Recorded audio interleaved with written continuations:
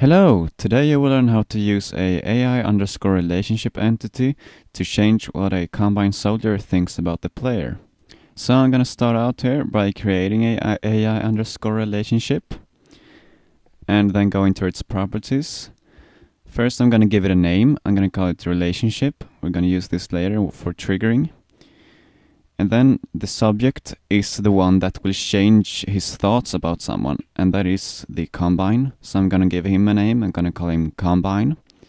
Then I apply that. And then I use his name as the subject NPC.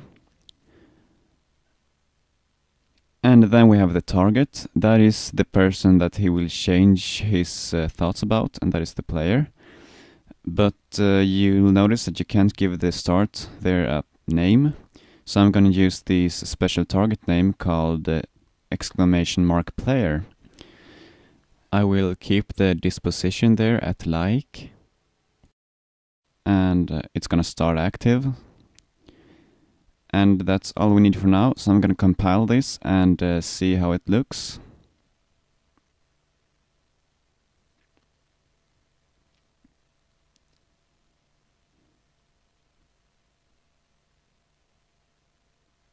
As you can see, the Combine is our friend now. So now we're gonna do something to revert this relationship again, to make him shoot us. So create a trigger with the trigger texture, brush here. Just right in front of, front of the player there, so you can walk into it. Then press Ctrl T with it selected to turn it into an entity. Uh, it's gonna be a trigger underscore once. Go to the outputs tab, add a new output. On trigger, target entities named relationship there. Via this input, revert relationship.